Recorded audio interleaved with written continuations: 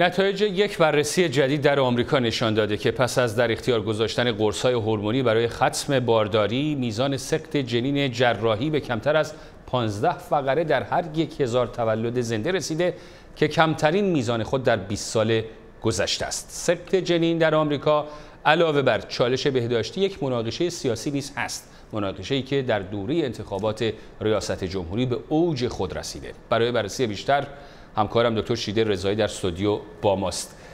خانم دکتر رضایی این قرص ها چه سودی دارن چه زیانی دارن و فایدهشون چیه؟ ببین دو تا قرص مایفپرکس و میزوپرستول که در واقع یکیشون با مهار هورمون پروژسترون چسبندگی جنین رو به دیواره رحم کم می‌کنه و اون یکی با آغاز انقباض های رحمی منجر به سخت میشه به شرط اینکه به فاصله 24 تا 48 ساعت از همدیگه و پیش از ده هفته اول بارداری خورده بشه. اما مسئله در مورد این قرص ها همونطور که شما پرسیدی اینه که دسترسیش چنانچه محدود باشه. در جاهایی که مناقشه سیاسی وجود داره درباره سخت جنین موجب میشه که زنها به سمت سخت جنین های جراحی یا کورتاژ برن که در شرایط ناامن و غیر بهداشتی ممکنه انجام بشه و در اون صورت خطری که داره خطرش پارگی رحم خونریزی منجر به مرگ مادر ممکنه بشه یا عفونت و چسبندگی که منجر به نازایی های بعدی میشه.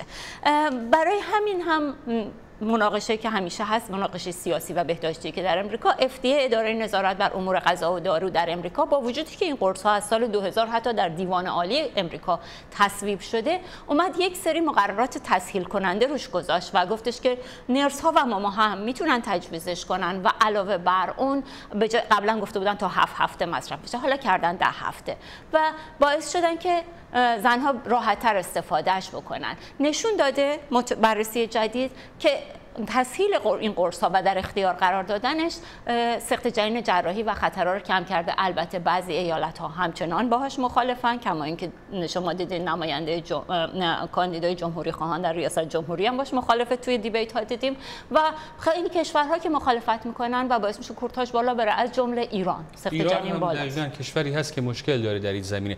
در ایران این قرص وجود داره استفاده میشه؟ آره قرص میزوپرستول در ایران به اسم تجارتی Cytotec وجود داره. Mifeprex هم mifepristone البته باید توسط پزشک تجویز بشه و با همون محدودیت های خاص سقط جنین در ایران. ولی شما می‌دونید همیشه بازار سیاه دارویی در ایران وجود داره و در خیلی کشورها از جمله ایران وجود داره و قرص ها قابل دسترسه. مهم اینه که زیر در هفته حاملگی باید مصرف بشه. مهم اینه که بدونن خانم ها که تا دو هفته بعد از اون همچنان حاملن و خونریزی ها ادامه داره. و مهم اینه که بدونن این قرص با مورنینگ افتر پیل یا قرص های صبح روز بعد فرق داره. اونا فقط دو روز کار می‌کنه اینا تا ده هفته. سپاسگزارم از توضیحاتی که دادی دکتر شیده رضایی.